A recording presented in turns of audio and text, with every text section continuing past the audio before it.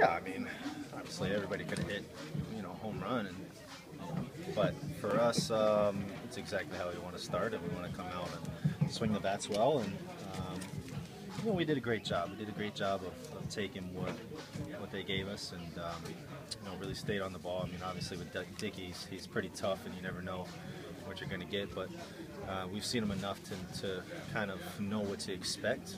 Um, with that being said, I, I thought we did a great job offensively, and obviously, you know, Price. I mean, Price is just he's Cy Young for a reason, and uh, came out and delivered.